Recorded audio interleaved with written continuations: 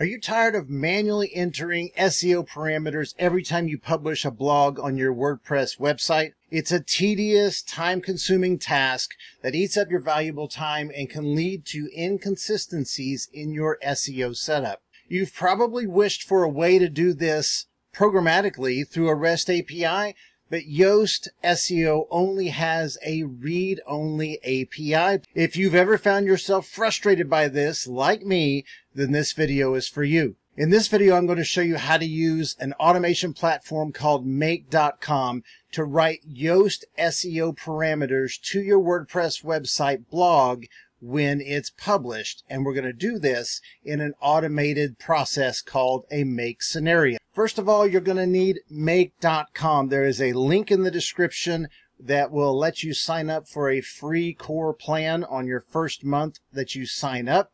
You can also check out links in the description for my newsletter as well as some other cool tools I use as a Make freelancer.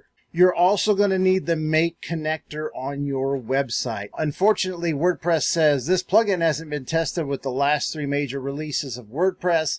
I can tell you I have it in a production environment and it works just fine on the most recent version of WordPress. You're going to install it on your WordPress website and it's going to sit right down here and it's going to allow you to connect to your WordPress website from make.com to run those automations. You'll also have the ability to turn on or off the API fields that you want to use. So that's an important step here. So I'm going to click on custom API fields and I'm on the post and I'm going to hit control F and search for Yoast.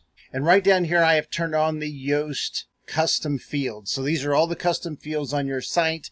You're going to want to check the Yoast ones and save those so that those are available and work in your make.com automated scenario. So I'm over here in my content generator that I use to push content out to my WordPress website and to my social media. I'm going to click right here on this post ID. This is going to open up this post that is in a draft format. And if I scroll down here, you can see right here is my focus key phrase. It's been added in already. Right here is my title, which I can edit if I want to. I actually put, put the title in here instead of the placeholder because sometimes my titles for the posts that show up are longer than I want to show up in SEO. So this gives me a chance to edit these. And then here is my meta description. So everything was put in here. I will, as a workflow, come here and look at this, make any edits that I need to, to make this SEO optimized, give me that green dot that we all love with uh, Yoast SEO, and then I'll hit publish. So, so let me go over here to make and show you how this is set up. So this is a long scenario I actually have that runs my content generation and creates my SEO posts.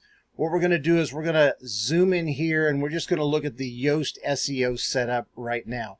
So here is the normal stuff you would see, the title, the content, the post type. Here's all the information you put in into your make scenario. But right down here under metadata, this is where the power comes in for Yoast SEO. You're going to open up this metadata section. You're going to add an item. And this one here is, uh, I'll leave this on the screen, underscore Yoast, underscore WP SEO, underscore focus KW. So that is the focus keyword that I've mapped here.